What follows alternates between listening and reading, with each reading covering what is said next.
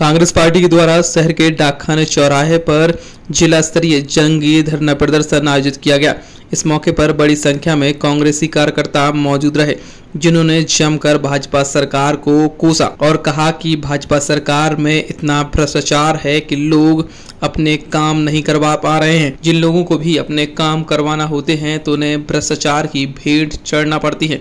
शहर में विकास कार्य रुका हुआ है। डाकखाने चौराहे पर काफ़ी देर तक ये प्रदर्शन चलता रहा, जिसमें कांग्रेस के कई दिग्गज नेता भी शामिल हुए। जिन्होंने जमकर भाजपा सरकार को कोसा और उनका कहना था कि ऐसी सरकार उन्होंने अभी तक नहीं देखी है, जो भ्रष्टाचार में पूर्णतः लिप्त है। अधिकारी भी कोई काम नहीं कर रहे हैं और भाजपा का इतना दबदबा है कि बिना कमीशन के कोई भी काम नहीं हो रहा है। आने वाले चार महीने में कांग्रेस पार्टी की सरकार आने वाली है तो उन्होंने एक झूठ का अपना षडयंत्र जलाने की कोशिश की और सतपुरा में इन्होंने आग लगा दी।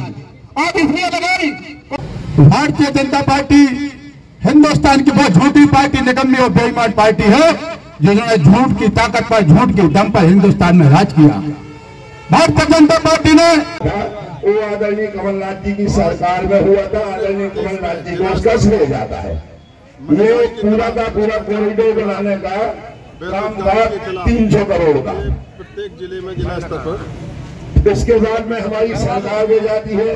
कांग्रेस की सरकार गिरने के बाद आदरणीय मम्मा जो एक कार्टून है एक कार्टून है मोदी जी और एक कार्टून है अपने शिवराज सिंह के मुकाबले को कार्टून नहीं है ना ड्रामेबाज ना नौटंकीबाज नहीं है।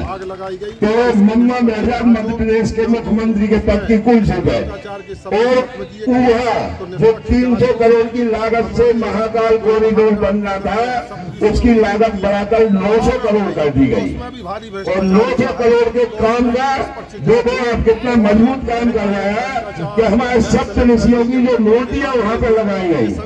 वो मूर्तियाँ अभी हमें तो ऐसा समाचार नहीं मिला है